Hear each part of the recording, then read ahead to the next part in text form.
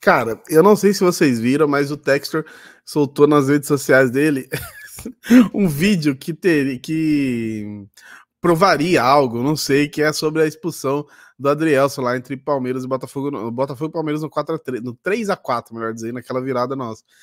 Mas eu ia até comentar, mas eu falei, não, eu vi o vídeo do Tociro, ele dá. As, as argumentações dele é, são muito boas. Eu falei, eu não vou ter essa, essa, capacidade cognitiva dele, né? De refutar tão bem. Porque assim, é tão absurdo o Textor querer usar o que ele usou aqui, que na hora de você dar um argumento, você tipo, é sério que eu preciso argumentar isso aqui, tá ligado? E eu acho que o Tociro mandou muito bem, por isso eu trouxe dele aqui. Uh, e o Insta, Instagram dele é, deixa eu ver, arroba Tociro, sigam lá, Tociro Neto.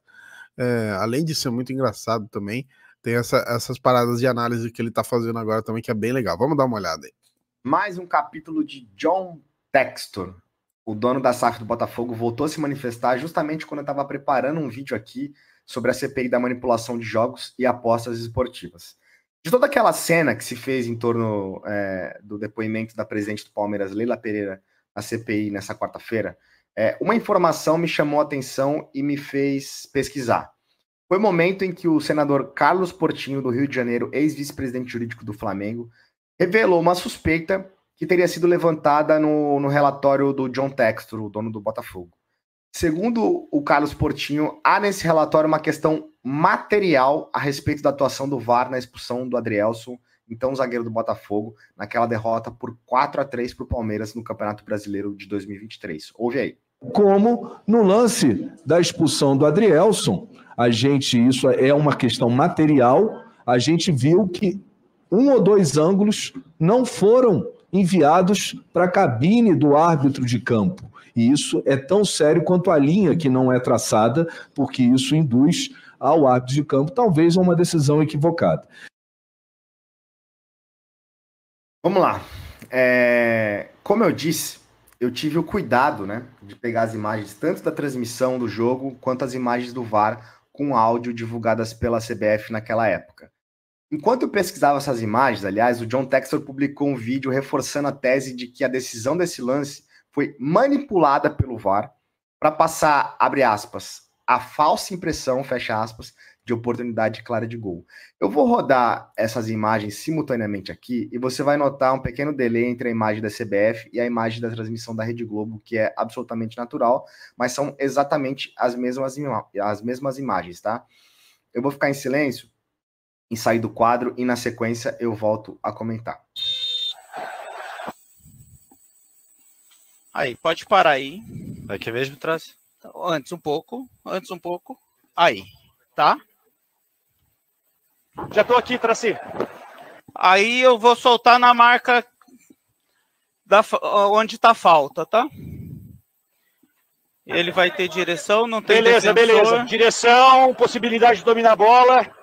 Distância e não tem defensores. Distância, tem até o companheiro com ele. Perfeito. Ele está em divergência. Eu só não tinha claro para mim a, a, direção, que para mim agora é claro. Tô voltando, Vou te mostrar então. abaixo. Isso, ele atinge e depois segura. Lateral, lateral. O que, que tá falando, irmão? Tá indo pra lateral. Pode ir. A direção é pro gol, tá entrando na área. Tô voltando com o cartão vermelho. Tens a tática para fechar? Abre. Tá aberto. A câmera tática. Não, tá aberto. 1650. A câmera tática. Ah, ah, tá. voltando, pra mim é claro. Estamos na 1650. A tática. Não. Ah, pode pôr a 7. Tudo bem, tá tudo bem, já pego a direção. Ok. O jogador tem até a possibilidade de passe. Ok. O jogador tem até a possibilidade tá indo de passe. Até a bola cartão, já tá indo pra área. Ver... Ó, pessoal, Cabine, escuta. Pode falar, Braulio. Com tiro livre direto, cartão vermelho por 37 por Doxo. 34, okay. Adrielson. 34. Perfeito. Bom, Sobre os ângulos citados na CPI, os dois ângulos não exibidos e não solicitados pelo árbitro principal são estes dois aqui. Disso tudo, eu tiro a seguinte conclusão. Um, o árbitro principal já tinha marcado a falta em campo, tá? Dois, o VAR chamou o Braulio para analisar uma possível expulsão por oportunidade clara de gol. Era essa a questão. A falta já tinha sido marcada. Três, as imagens que ele vê na cabine só reforçam a interpretação, a conclusão de falta. É, o Adrielson faz a falta com a perna direita pela frente, ele puxa a camisa do Breno Lopes e calça também por trás com a perna esquerda o jogador uh, do Palmeiras. Então as imagens exibidas ali só reforçam é, é, a, a conclusão da falta. Essas duas imagens, esses dois ângulos é, que não foram exibidos também reforçam isso. Agora, o ponto 4. Os ângulos exibidos e solicitados pelo Braulio são os ângulos que forneceriam a ele a melhor leitura para ele entender se de fato aquela era uma oportunidade clara de gol ou não, uma, um ângulo é, de cima. Ele ali precisava an analisar os seguintes elementos: a distância da meta, é, a direção da bola, né, que é, é, é, ele próprio diz segue em direção à área, a posição e a quantidade de adversários é, é, que estavam na disputa, e o controle ou o possível controle da bola. Então, assim, uma análise como essa, retirada de contexto e reafirmada em uma CPI que é assistida por milhares de pessoas, para mim, na minha opinião, é um desserviço. Por quê? porque reforça uma suspeita de que houve má fé ao não exibir imagens que pudessem mudar a decisão do árbitro, o que não é verdade. Nenhuma imagem, mesmo essas duas não exibidas e não solicitadas, mudariam a decisão do árbitro. É, ele já tinha marcado, reforçando, ele já tinha marcado a falta em campo. É, fica ainda mais evidente para ele que havia sido falta. E dois, fica ainda mais evidente é, que era uma oportunidade clara de gol. Agora, quanto à mais recente declaração do, do, John Textor, do dono do Botafogo, ele diz que nunca ficou configurada a posse de bola ou o possível controle é, de bola nessas imagens. Para mim, é, tudo bem, é, é, é, um lance subjetivo, né? A, a, o termo possível controle de bola, obviamente, naturalmente, é, é subjetivo.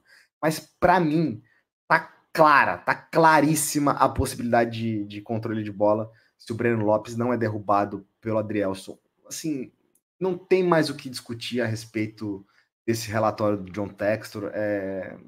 Não tem, não tem mais o que falar. Mais um capítulo de John. Cara, é foda, né? Aliás, primeiro, mano, parabéns, parabéns aí pelo, pelo análise perfeita, tudo que ele, todos os pontos que ele levantou aí, eu não conseguiria levantar tão bem quanto ele, tá? Então, por isso que a gente traz aqui, a gente realmente vê aí todas as falas do pessoal aí que trabalha e trabalha muito bem. Né? E agora, sobre o Textor, né? Eu não fiz só esse post, assim, ai, nossa, eu fiz esse post aqui e tal. Cara, sério, você... é foda, né, mano? É que a gente, mano, a gente não tá ligado quanto é quanto é pá ter, ter grana, tá ligado? Quanto isso. É, é, enfim. Ó, o Textor ele fez o post, e aí é o seguinte: ele escreve aqui na legenda: Senhor, Senador Cajuru, seus 15 de, minutos de fama quase expiraram. O cara tá tirando onda com o senador, filho.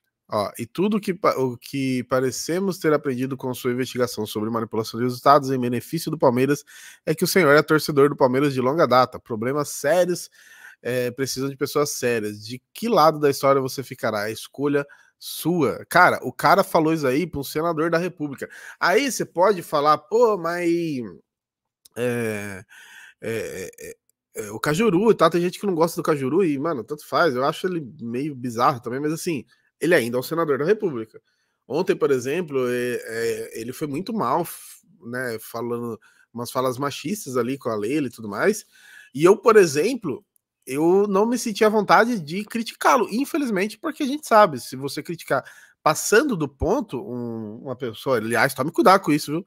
Pessoa com cargo público é desacato, viu? Igual policial. É, o que a gente tá acostumado a ver desacato contra policial, até porque geralmente são situações mais enérgicas e tal. Mas se você desacatar um funcionário público, se você desacatar um, um cara, um senador, um vereador, você pode ser preso, viu? Então toma cuidado. Então, eu tomei esse cuidado mesmo ele falando lá as coisas dele. Porque também nem vale a pena. Agora o Textor, olha como que o cara fala, meu parceiro. E aí depois ele fez esse post aqui também, ó. Graças a Deus que temos a partida do Senado a resolver a investigação. Eles vão resolver isso, não é? Que aqui é o vídeo que o Tociro reproduziu aí. Ou seja, mais uma, um episódio fanfarrônico, digamos assim, do John Textor, fazendo o que quer, falando o que quer no Brasil. É... Agora tem uma coisa: o, o Cajuru ele no cargo que ele tem, ele tem um poder maior para resolver esses problemas aí do que o Textor tá fazendo, tá? Ele pode realmente resolver de maneira, digamos, na lei, né? Mas vamos, vamos aguardar. Agora sim. O John Textor segue passando vergonha, segue fazendo, é, levantando falsas acusações e nada acontece, né? E sabe o que é pior? Você olha aqui, ah, Botafoguense, estamos com você, Textor, para cima do sistema. Estamos contigo. Estamos, estaremos sempre com você, sempre com você. Ai, mano, até, os caras comentam até inglês aqui. É, é impressionante, mano. Quanto esses caras. É, tudo bem, né, mano? O Botafogo realmente nunca viveu muitas glórias e quando tava muito perto, é, deu essa coisa aí, mas é bizarro, é bizarro. Beleza? Deixa seu comentário aí, seu like é muito importante.